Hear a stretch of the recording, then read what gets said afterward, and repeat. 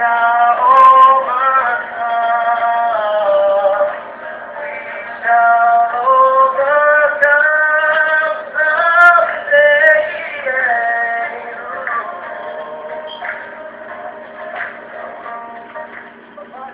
Monday, January 18th, the country celebrated Dr. Martin Luther King Jr.'s birthday.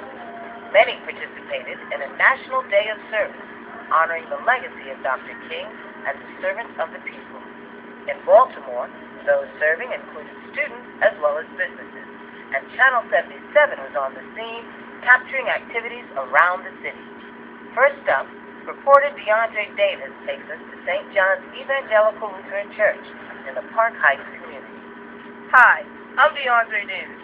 I'm here at St. John's Evangelical Lutheran Church for a day of service for Dr. Martin Luther King Jr. It's so encouraging to see so many people coming out to honor the legacy of Dr. Martin Luther King.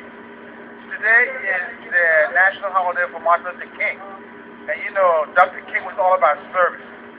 So, uh, in fact, one of his wife's wishes was that instead of just taking the day off to celebrate his birthday, we actually take the day to go serve the community.